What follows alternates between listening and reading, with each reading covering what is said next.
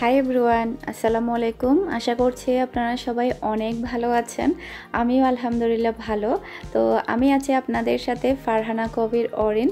পুরো নামটাই বললাম কারণ অনেক কাপড়া হচ্ছে আমাকে কয়েকদিন ধরে বলছে ভিডিওতে যাতে আমি আমার নামটা বলি শুরুতে। তো কারণ হচ্ছে অনেক আপুরা হচ্ছে আমার নামটা জানে না, যার কারণে আসলে আমার নামটা কিন্তু অনেক বড়। তো আপনারা আমাকে কোন নামে ডাকবেন সেটা আসলে আমি বুঝতে পারছি না। ফারহানা ডাকবেন নাকি অরিন ডাকবেন? আমি কিন্তু দুই নামেই পরিচিত। কলেজ কিংবা স্কুলে আমাকে সবাই ফারহানা বলেই চিনে। আবার আমার রিলেটিভ, আমার বাবা মা, শ্বশুরবাড়ির সবাই হচ্ছে আমাকে অরিন নামে ডাকে, আমার ডাক নাম যেটা। তো আপনারা কি আমাকে ডাক নাম যেটা সেটা ডাকবেন নাকি আসল নাম যেটা ফারহানা সেটা ডাকবেন সেটা আপনাদের ইচ্ছে। তো আমি চেষ্টা করব মানে প্রতিদিনের নামটা বলার জন্য, যেহেতু অনেক কাপড় আমার নামটা জানে না, তো এই আর কি। আর আমার আজকের এই ভিডিওটা আমি শনিবার রাত থেকে রবিবার পর্যন্ত রেখেছি, দুই দিনের ভিডিও এটা। তো আশা করছি আজকের ভিডিওটা ভালো লাগবে। তো মার্কেট থেকে যেগুলো হচ্ছে লাল শাক এনেছিলাম, তো মিহির বাবা বলছে যে লাল শাকগুলো বেশি করে রসুন দিয়ে যাতে আমি ভাজি করি, সেজন্য হচ্ছে আমি ফটাফট কেটে নিচ্ছি শাকগুলো। আর এদিকে হচ্ছে ভাতও বসিয়ে দিয়েছি। এতদিন পর্যন্ত কোনো ব্লগে কিন্তু আপনারা মিহির বাবাকে রান্না করে দেখেননি। অনেক আপুরা কিন্তু প্রায় সময় বলতো, আপু, কেন ভাইয়াকে রান্না করে দেখা যায় না? তোমাকে কেন হেল্প করে না? তো আজকে হচ্ছে মিহির বাবা মেয়েদেরকে নাস্তা বানানো শেখাবে। আপুরা আমাকে কমেন্ট করতো প্রায় সময়, মিহির বাবাকে কেন রান্না করে দেখা যায় না? ভাইয়াকে দিয়ে একদিন রান্না করাবে, আমরা দেখব। সে আপুদের হয়তো বা সৌভাগ্য হলো মিহির বাবার হাতের কাজ দেখার। আর ও হচ্ছে মেয়েদেরকে নাস্তা বানানো শেখাচ্ছে ব্রেড টোস্ট কীভাবে ব্রেড টোস্টটা করবে সেটা শেখাচ্ছে। আর দুই মেয়েও কিন্তু মনোযোগ সহকারে দেখছে। আর মিহির বাবা কিন্তু রান্না পারে না, তাই না? ও কিন্তু রান্না পারে, ও হচ্ছে গরু মাংস রান্না করতে পারে ভালো। মানে আমি বিয়ের পরে একবার খেয়েছিলাম ওর হাতের গরুর মাংস। এরপরে হচ্ছে প্রায় সময় ও ডিমবাজি করে। ওই ডিমবাজিটা কিন্তু অনেক অনেক টেস্টি হয়। আমি যেভাবে করি, সেভাবে কখনো ও করে না। ওটা কেমন যেন অনেক বেশি টেস্টি হয়। মানে মানে কীভাবে যেন ও করে আর প্রতিদিন সকালে কিন্তু পান্তাবাদ দিয়ে ডিম ভাজি খাই। ওটা কিন্তু বেশিরভাগ সময় ওই তৈরি করে, যেটা সত্য কথা। কোনো সময় বলিনি, আজকে বললাম। কারণ আমার হাতেরটা কেমন যেন ওর কাছে ভালো লাগে না। আসলে সত্য কথা যেটা, ওর হাতের ডিম ভাজিটা অনেক বেশি টেস্টি হয়। আমি আপনাদের সাথে একদিন শেয়ার করব, ও কীভাবে তৈরি করে এটা। বেশিরভাগ সকালে কিন্তু ও নিজেই তৈরি করে এটা। ও মেয়েদের সাথে দুষ্টামি করতে করতেই আসলে নাস্তাটা তৈরি করছে। আর দুই মেয়েও কিন্তু মহা খুশি।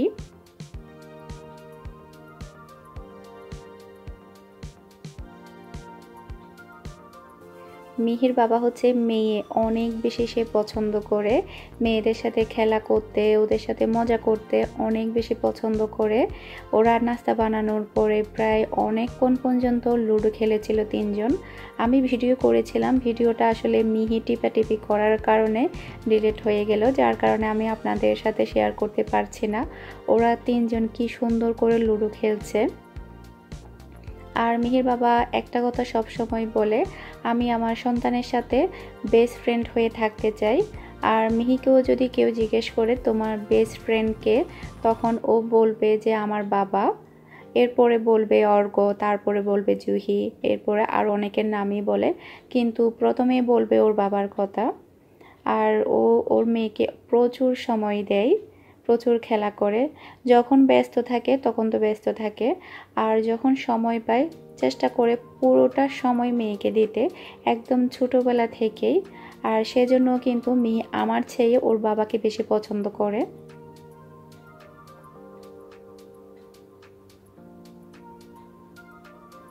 আগে তুমি না ও উপর আছে তো আগে ও না তুমি না তুমি মি না উল্টাও দেখি এটা ধরো এভাবে ধরো।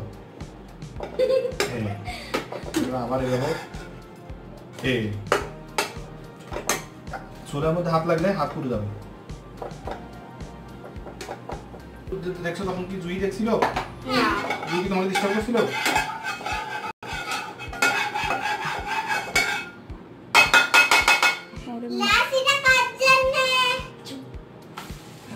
একটু পরে এখন এখন হচ্ছে আমি সবজি আর হচ্ছে ফ্রুটগুলো রেখে দিব।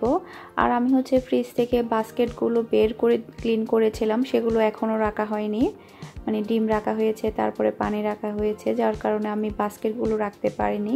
এখন হচ্ছে আমি আপাতত রেখে দিচ্ছি, কালকে আমি বাস্কেটের মধ্যে সাজিয়ে রাখব।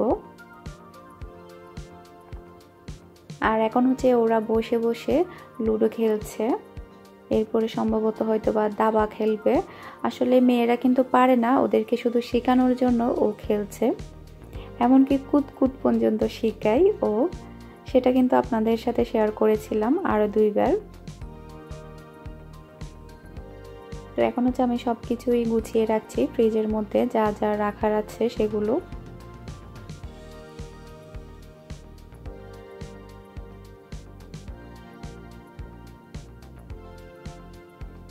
আমি হচ্ছে এগুলো আপাততই রাখছি। আর এগুলো হচ্ছে অলিভ, আমার কাছে খুবই ভালো লাগে অলিভগুলো। মিহি কিন্তু একটুও পছন্দ করে না, আর জুহি কিন্তু অনেক বেশি পছন্দ করে অলিভ।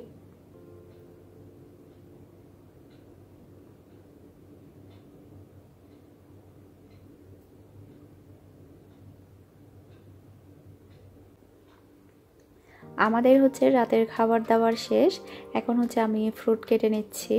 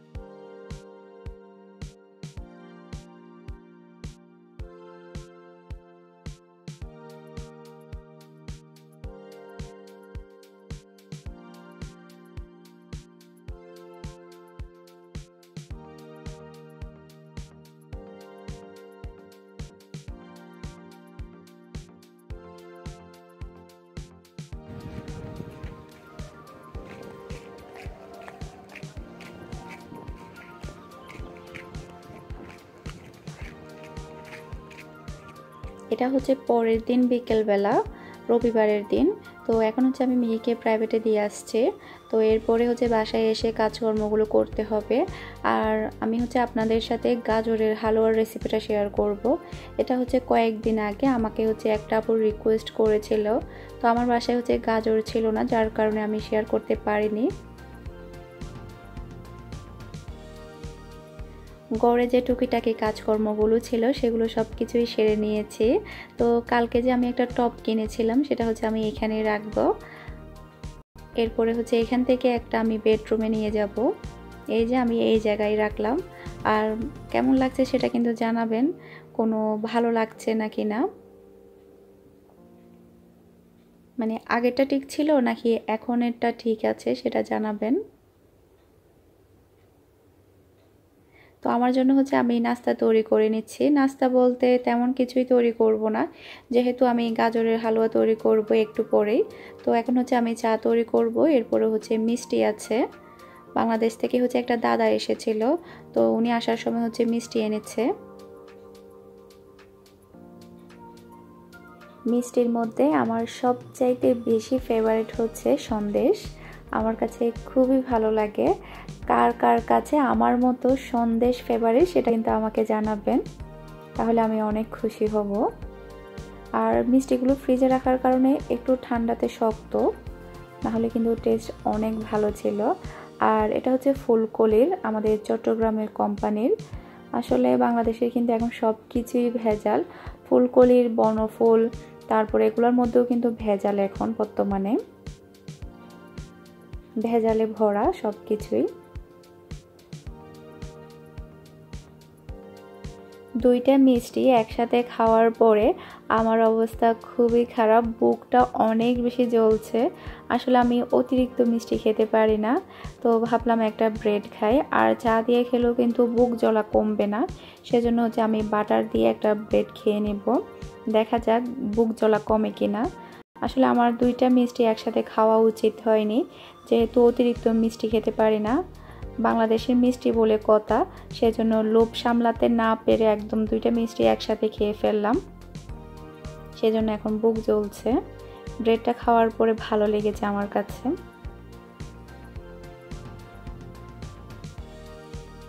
এখন হচ্ছে আমি আপনাদের সাথে গাজরের হালুয়ার রেসিপিটা শেয়ার করছি। এই রেসিপিটা হচ্ছে একটা আপু আমাকে কয়েকদিন আগে রিকোয়েস্ট করেছিল দেওয়ার জন্য। সম্ভবত এই আপুটা আমার উপর রাগ করেছে, কারণ আপু কমেন্ট করেছিল, আপু, তুমি এত রেসিপি দিতে পারছ, কিন্তু আমার রেসিপিটা দিচ্ছ না। আসলে এই রকম কিন্তু অনেকগুলোই রেসিপির রিকোয়েস্ট আসে, কিন্তু দেখা যায় কি সময়, সুযোগ করে হয়ে ওঠে না। তারপর দেখা যায় কি অনেক কিছুই ঘরের মধ্যে থাকে না, তৈরি করতে আসলাম, এটা থাকে না, ওটা থাকে না, যার কারণে তৈরি করা হয় না। তো আমার বাসায় হচ্ছে গাজর ছিল না যার কারণে আমি দিতে পারিনি। তো অনেক আপুরা হচ্ছে রাগ করে সেটা বুঝতে পারে না, যার কারণে এই জিনিসটা ক্লিয়ার করে দিলাম। আপুরা প্লিজ রাগ করো না। আমি সময় মতো সব কিছুই দিব। আর যদি কোনো রেসিপি যদি ইমার্জেন্সি প্রয়োজন হয়, তাহলে কিন্তু ইউটিউবে অনেক অনেক রেসিপি আছে।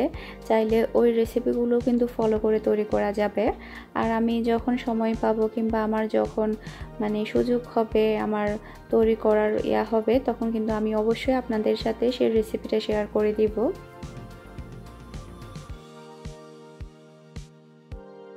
এখানে হচ্ছে সবগুলো গাজর গ্রেট করা শেষ। এখন হচ্ছে আমি গাজরের হালুয়াটা তৈরি করে নেব। এর জন্য হচ্ছে চুলার মধ্যে একটা প্যান দিয়ে দিলাম। আর এখন হচ্ছে আমি দিয়ে দিব ঘি দুই চা চামচের মতো। আর এখানে কিন্তু ঘি দিতে হবে, তেল দেওয়া যাবে না। এখানে হচ্ছে আমি ঘি দিয়ে দিলাম। তারপরে হচ্ছে ফ্লেভারের জন্য আমি দিব তেজপাতা, তারপরে হচ্ছে দুইটা এলাচ, দারচিনি বেশ এইটুকুই ফ্লেভারের জন্য। আর কিছুই দিতে হবে না। এরপরে হচ্ছে গ্রেট করা গাজরগুলো দিয়ে দিচ্ছি। তো আমি চুলাটাকে মিডিয়ামে রেখে টোটাল আমি এটাকে বিশ মিনিটের মতো এটাকে আমি ইয়া করব।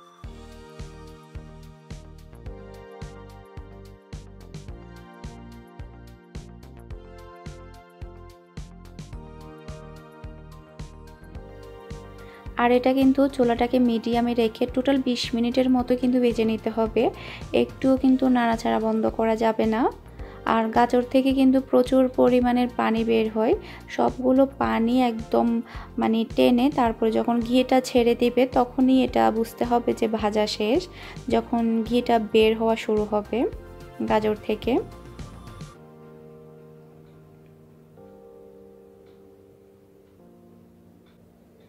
টোটাল ২০ মিনিটের মতো খুবই ভালোভাবে আমি ঘিয়ের মধ্যে ভেজে নিলাম। দেখুন, ঘিটা কিন্তু এখন বের হচ্ছে গাজর থেকে, আর এটাও কিন্তু একদম ভাজা শেষ।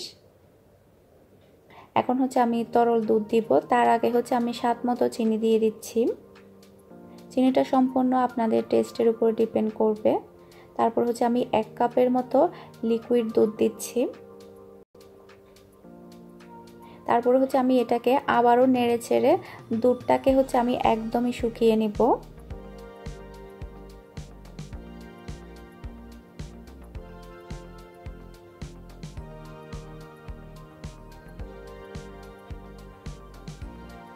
দুধটা আমি সম্পূর্ণভাবে একদম শুকিয়ে নিয়েছি। আর এখন হচ্ছে ঘিটাও কিন্তু বের হতে শুরু হয়ে গিয়েছে। এখন কিন্তু হালুয়াটা সম্পূর্ণভাবে রেডি তো টেস্টটা বৃদ্ধির জন্য এখন হচ্ছে আমি সামান্য করে পাউডার দুধ অ্যাড করছি। এটা হচ্ছে সম্পূর্ণ অপশনাল আপনারা চাইলে নাও করতে পারেন, কোনো সমস্যা নেই। তো পাউডার দুধটা দিলে একটু খেতে ভালো লাগে সেই জন্যই দিচ্ছি। এখন হচ্ছে একটু ভালোভাবে মিশিয়ে নিচ্ছি। আর হালুয়াটা কিন্তু এখন রেডি আর আমার এই গাজরের হালুয়ার রেসিপিটা আপনাদের কাছে কেমন লেগেছে, সেটা কিন্তু আমাকে অবশ্যই কমেন্ট করে জানাবেন। আর আমার ভিডিওগুলো যদি আপনাদের কাছে ভালো লেগে থাকে, যারা এখনও আমার চ্যানেলটি সাবস্ক্রাইব করেননি, তারা প্লিজ চ্যানেলটি সাবস্ক্রাইব করে নেবেন। আর ভিডিওর মধ্যে একটা লাইক দিতে ভুলবেন না। আরও একটা নতুন ভিডিও নিয়ে হাজির হয়ে যাব। সে পর্যন্ত আপনারা সবাই ভালো থাকবেন, সুস্থ থাকবেন। আজকের মতো বিদায় নিচ্ছি। আল্লাহ হাফেজ।